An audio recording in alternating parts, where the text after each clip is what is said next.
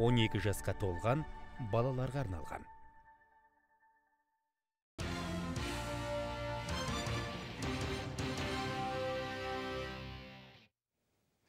Армысыз қымбатты көрермен облыстың басты арнасында өзекті мәселе хабары. Қазіргі таңда әлемдік стандарттарға сай білім беру жүйесін қалыптастыра отырып студенттердің білім алуына және тұратын жеріне жағдай жасауға тиісті. Әрбір жоғары оқу орны еліміздегі осы тұста жоғары оқу орындарындағы және колледждердегі студенттердің жатақхана мен қамтамасыз ету мәселесі бүгінгі таңда өзекті болып тұр. Бүгін біз дәл осы тақырып төңірегінде сұхбаттасатын боламыз. Олай болса студия қонағымен таныс болыңыздар құдайберген жұбанов атындағы ақтөбе өңірлік университетінің әлеуметтік және тәрбие жұмысы жөніндегі проректоры еркін тастанқұлов біздің студиямызда қонақта. Қош келдіңіз. Серікжанұлы. Батыс өңіріндегі ең ірі оқу орны саналатын жұбанов университетінде биылғы оқу жылында қандай өзгерістер бар қандай жаңашылдықтар бар сол жөнінде айтып өтсеңіз. Ең маңыздысы бұл жыл сайын біздің университетке біздің университетті таңдап түсіп жатқан студенттің саны жылдан жылға өсіп жатыр ол әрине демографиялық мәселеге де қатысты бір жағынан бірақ бір жағынан біздің студенттердің таңдауы мына біздің университетке сенімі туралы да бір көрсеткіш десек болады. Келесі мәселе біздің университет мына батыс қазақстандағы ірі университет болғанымен өзінің әлеуметтік позициясында білдіре жүреді. Мысалы айта кетсек міндетті түрде әр университет өзінің студенттерін жатақханамен қамтамасыз ету керек. Бізді, біздің бұл оқу жылда төрт жатақханамызда мына өзінің уақыт келгендегі жаңағы жөндеу жұмыстары жүргізіліп тұрады міндетті түрде. Дезинфекция жұмыстары жүргізіліп тұрады яғни біздің студенттерге барынша жағдай жасалынады иә. Жөндеу жұмыстардан кейін қосымша жаңадан жаңартылған ә, жиһаздар алынады. Сонымен қоса осыдан бір екі ай бұрын ә, ғылым және жоғарғы білім министрлігінің аналитикалық бір ә, мақаласында еліміздегі ең қымбат ең арзан жатақханалардың тізімі шыққан болатын біздің университеттің жатақханасы ең арзан жатақханалардың бірі. Бар жоғы айына 5-7 мың теңгеге жуық төлем алынады студенттерден. Ол өте тиімді баға. Одан арзан енді мүмкін емес. Ол жатақхана яғни өзінің жаңағы ә, ай сайынғы кетіп жатқан суын электроэнергетикасын ә, жауып тұратын сома ғанақ иә? Бірақ сонымен қоса біз деген студенттерімізден міндетті түрде әрине түрлі талаптар қоямыз. Ә, ол талаптар не себепті? Тәртіп сақтап жиһазды сындырмай Э, жатақхана болсын оқу ғимараты болсын оқу ғимаратында жаңағы аудиториялардағы парталардың жағдайы орындықтардың жағдайы дұрыс болып қалыптасты қалса бір оқу жылдың ішінде. Яғни университет көбірек көңілді көбірек қаражатты ары қарай жақсартуға жұмсай алады деген сөз. Ал егер біз әр әрбір оқу жыл сайын парта жаңартумен айналысып отыратын болсақ міне қазіргі уақытта жетіп жатқан жетістіктерге жету мүмкін емес еді. Біздің ректорымыз лаура чапаевна қарабасова бастаған трансформация міне қазірдің өзінде үлкен бір көзге көрінетінде көзге көрінбейтіндерді өзгерістерге алып келіп жатыр. Яғни бірінші оқу ғимаратының үшінші оқу ғимаратының ремонттарын көрсеңіздер иә яғни жөндеуден кейінгі қазіргі жағдайын көрсеңіздер бұрынғымен салыстырып жыл сайын әр корпусқа әр оқу ғимаратына жеке мына қаражат бөлініп жаңартылып жаңа жағдай жатады яғни студент келгенде ол деген өзін яғни оған бөлініп жатқан мына жауапкершілікті де түсіну керек бір жағынан. Бір жағынан ол қандай қамқорлық. Яғни біздің университет студентке оқи ғой міне осындай жағдай бар. Фитнес зал болса фитнес залымыз бар. Қосымша жаңағы ә, демалатын орындар коворкинг залдары бар. Кітапханаларымыз қандай керемет болып жатыр бұның барлығы студентке жасалып жатқан жағдай. Жалпы білім алу үшін қолайлы жағдай жасау бұл әрбір оқу орнының негізгі миссияларының бірі болып саналмақ. Ә, биыл университет тарихында алғаш тәжірибелердің бірі ретінде менторлар институты өз жұмысын бастады. Бұл жобаның маңыздылығы қандай және дәл осы менторларға қандай жауапкершілік жүктеледі? Ә, біраз адам білетін шығар деп ойлаймын. Әрбір университетте студенттің оқу үлгерімі болсын тәртіп тәрбиесіне қатысты болсын ол студенттердің ата аналарымен жұмыспен айналысатын кезінде оқытушылардың өздері болды. Яғни ол кураторлар деп аталды кезінде. Ол оқытушы сабақты да беріп үлгеру керек. Оның қол астындағы жаңағы қырық елу студенттің олардың тәрбие тәртібіне де жауап берді. Олардың үлгерімін де тексеріп отыру керек болды. Ол деген үйіндегі жаңағы жеке жұмыстарынан бөлек үй тапсырмаларын тексеру түрлі индикаторларды орындаумен айналысады. Ол кез келген университеттегі мына қазіргі таңдағы жағдай. Біз осы жылдан бастап менторлық жүйені енгізіп жатқан себебіміз біз оқытушыларды біраз осындай қосымша жұмыстан босатқымыз келді. Яғни біздің оқытушыларымыз негізгі міндеті негізгі миссиясы жаңа сіз айтқандай ол сабақ беру болғандықтан біз деген бүкіл жаңа тәрбие мәселесіндегі жұмыстарды менторларға беріп жатырмыз. Бұл осы жылға мына пилоттық режимде бастап жатырмыз. Әр факультетке берілген менторлардың саны студенттің контингентке байланысты яғни әрбір ментор шамамен 250 студентке жауап береді қазіргі уақытта бірақ сабақ бермейді. Яғни студенттің толыққанды үлгерімін қарап отырады. Сабаққа кешіккен жағдайда не себепті кешіккенін анықтайды. Ары қарай ата анасымен жұмыс істей алады. Қажет болса психологпен жұмыс істеуге шақыра алады түрлі мына кезінде кураторлық сағаттар дейтінбіз қазір менторлық сағаттар ұйымдастырады. Түрлі блогерлармен түрлі мына белсенділермен кездесу ұйымдастырады. Әрине 250 студент деген өте көп бір жағынан иә? Бір жүз студенттің өзі көп болып есептеледі. Бірақ біз деген бұл мәселеге қосымша өзіміздің жастар саясат департаменті қол, қол ұшын беріп жатырмыз сонымен қоса әрбір факультеттің өзінің декандары бар декан орынбасарлары бар. Ол кісілер де мына факультетте әке мен шешенің рөлін ойнайды десек болады. Олар да тәрбиеге жауапты. Әрбір ә, кафедраның қол астындағы студенттерін әрбір қайсысын таниды. Яғни ол да бір көмек. Сонымен қоса әр топтың өзінің старосталары бар ә, белсенді студенттеріміз бар. Бұл үлкен команда. Негізінде. Бірақ менторлар осының барлығын жүйелендіріп студенттердің тұра, тұратын тұрмыстық жағдайынан бастап жаңағы мысалы жатақханадағы жағдайын қарастырумен түрлі шаралар ұйымдастырумен айналысу арқылы студенттерді мына өздерін университетте тек қана білімге бағытталу ғана емес сонымен қоса бір бірімен қарым қатынасын нығайту оқытушылармен қарым қатынасын нығайту ата анасына жақындату ә, секілді мәселелерді қарастырады. Ә, себебі енді білетін шығарсыздар.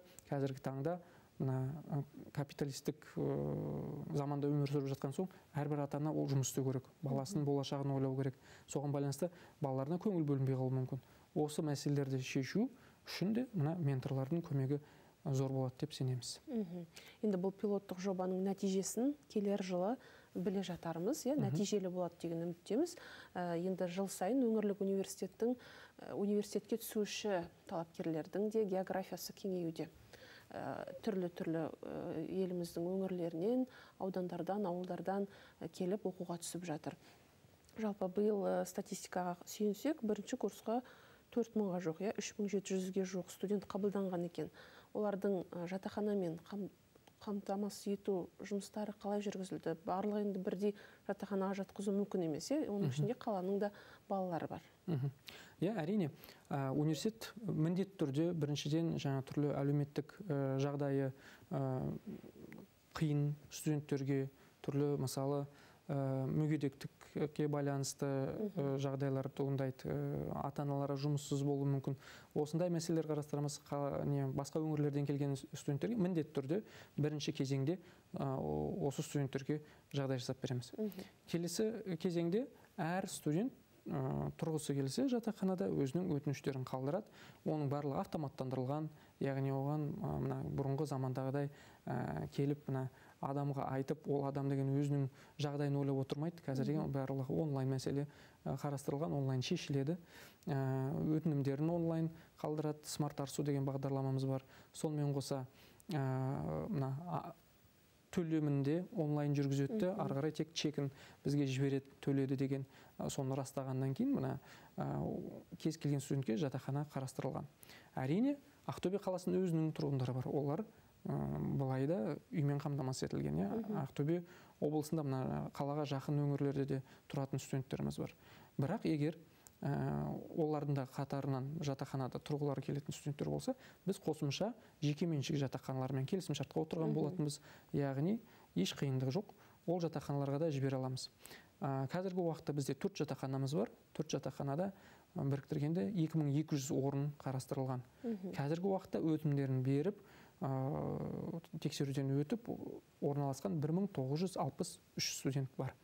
Сонымен қоса 200-ге жуық студент жекеменшік жатақханаларды таңдады. Енді оны да түсінуге болады. Себебі университеттің жатақханада тұрған соң ол жерде өзінің талаптары бар өзінің уақыты бар режимі иә? Яғни соған сәйкес болу керек. Әрине кей студенттер мына үлкен курстарда оқитын студенттер болуы мүмкін. Мен жұмыс істегім келеді. Мен түнде он бірден кешігіп келуім мүмкін деген сондай өзін түсініп өзінің санасы жеткен студенттер олар ары қарай жаңағыдай сырттағы жатақханаларда орна, тұрғанды жақсы көреді. Ұнатады себебі ол көбірек еркіндік береді.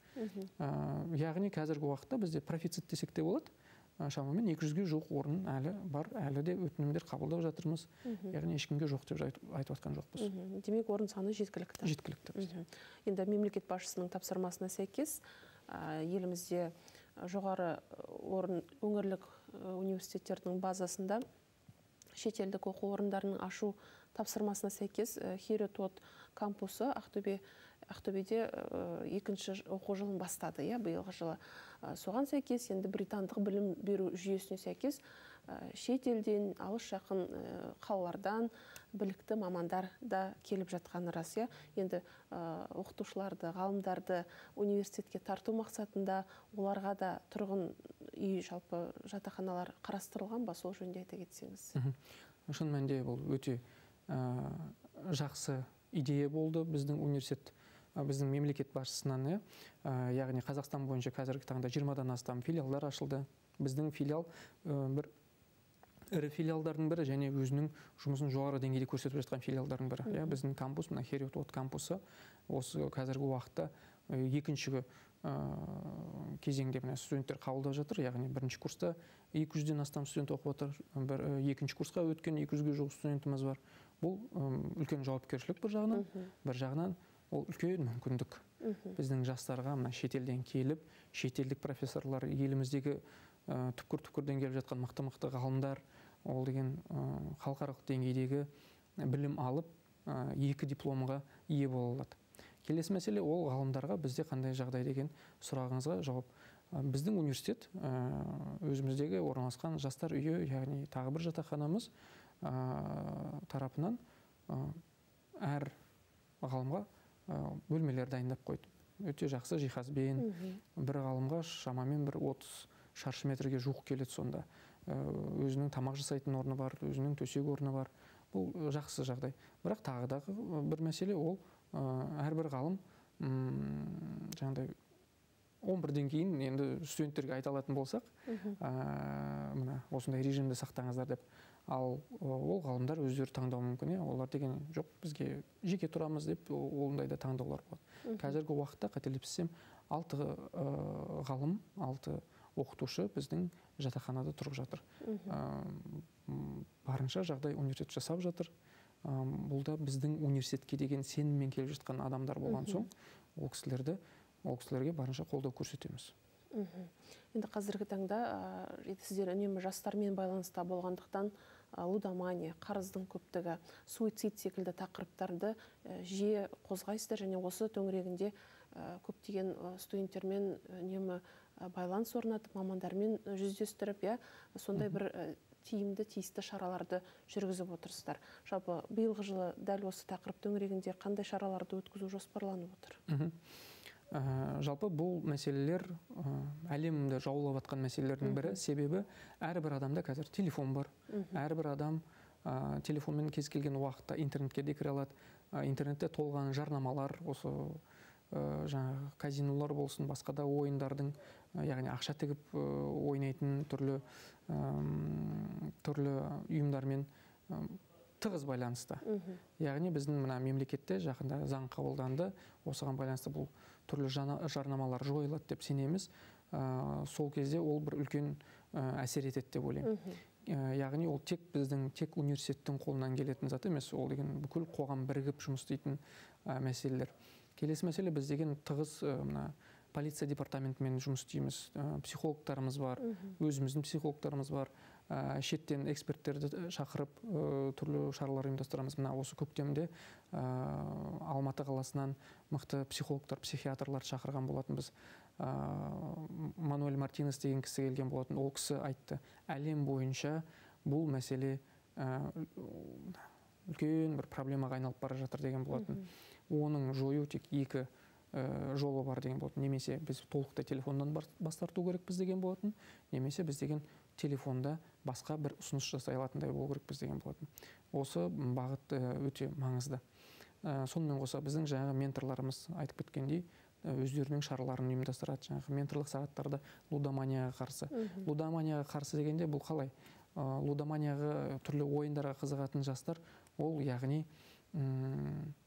ақшаны тез табу жолын ойлайтын шығар. Ол осы әлеуметтік желілердің әсерінен. Иә ол ешкімге құпия емес. Осыған байланысты біз деген жастарға ақшаны адал еңбекпен табу жолдарын көрсете білу керекпіз. Яғни түрлі стартаптар стартап жобалары кәсіпкерлікті көрсете алатын болсақ біз деген түрлі оқу барысында да қолжетімді жұмыстарды ашып бере алатын болсақ мысалы бізде біраз студенттер смммен айналысады. Сабағына кедергі болмайтындай.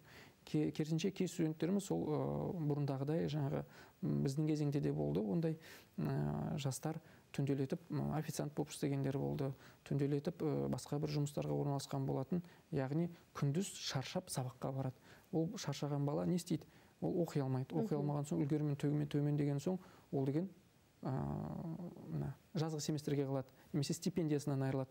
Сол кезде оның барлық қарыздарын оқуын оқу барысындағы қарыздарын жабу үшін ол барады да жеңіл ақша іздеп бастайды. Иә яғни бұл деген барлығы бір бірінен байланысты мәселе. Кей ата аналарға айтсақ міне балаңыз түнде жұмыс істеп жүр өйтуге болмайды сабағына бару керек керісінше қолдайды. Менің балам міне өз өзін қамтамасыз етіп жатыр жұмыс істесін деп ә, сондай итермелейді сондайға. Бірақ жұмыс балаға бөгет болмау керек. Мен өзім де студент болдым екінші курстан бастап жұмысқа тұрған болатын бірақ ең маңыздысы маған менің тұңғыш жұмысым сабағыма кедергі болмады. Оқуымды да жақсы оқып үлгердім. Соның арқасында төртінші курсты аяқтай салған соң халықаралық компанияға жұмысқа шақырылған болатын мен де осыған шақырамын. Біздің жастарды яғни сіздер ең маңыздысы сіздер университетке түскеннен кейін ол білім алу дипломдарыңызды алып шығу маман болып қалыптасу біздің президентіміз де жолдауында айтты. Мамандарды қалыптастыру керекпіз. Яғни ол студент оқу барысында маман болып қалыптасып шықса ол студент ары қарай кез келген жұмыс орнында да кез келген жұмыс орны оған таласып жүріп алатын болады. Мына бала әрине.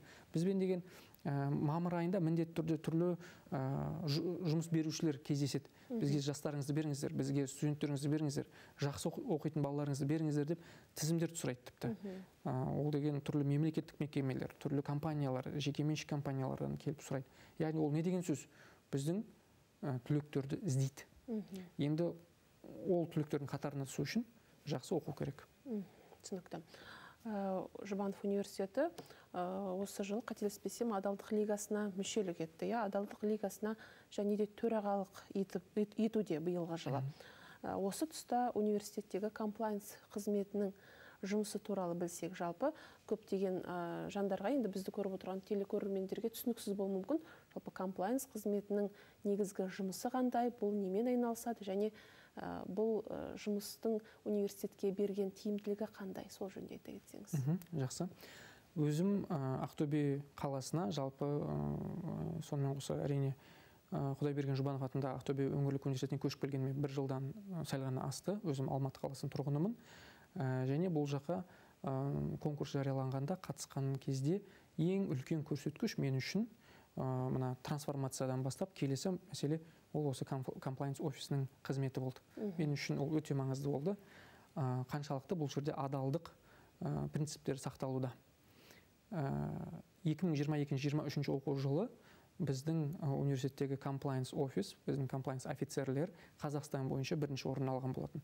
Яғни адалдықты қорғау құқықтарды қорғау мәселесіне қатысты болып тұр.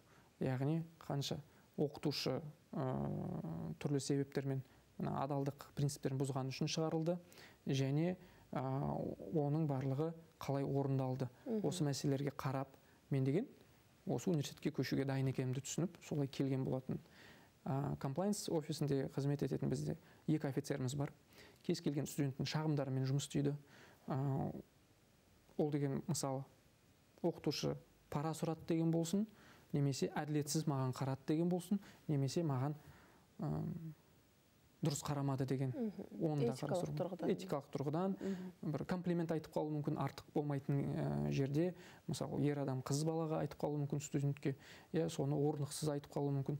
О- осының бәрін біздің комплайнс офицерлер тексереді. Дәлел табылған кезде олар ешкімді аямайды. Тиісті шаралар тиісті шараларды қолданады. Бірақ сонымен қоса тағы бір мәселе. Кейде студенттер оқытушыларға декандарға қысым көрсетеміз деген оймен енді көп емес ондай құдайға шүкір бір жағдай болды. Керісінше жала жауып оқытушыды жұмыстан шығартуды талап еткен болатын. Ол мәселені де біздің комплайнс офицерлер тексерді. Дәлел табылмағаннан кейін біздің ә, университет яғни шешім қабылдады. Онда біздің бұл студент адалдық ә, ә, жалпы этикалық нормаларды Сақтамай сақтамаса онда біз олмен қалай ары қарай жұмыс істейміз деген. Түсінікті. алғыс білдіреміз еркін серікжанұлы осындай маңызды ақпараттармен бөліскеніңізге қымбатты көрермен бізге берілген уақыт өз мәресіне жетті.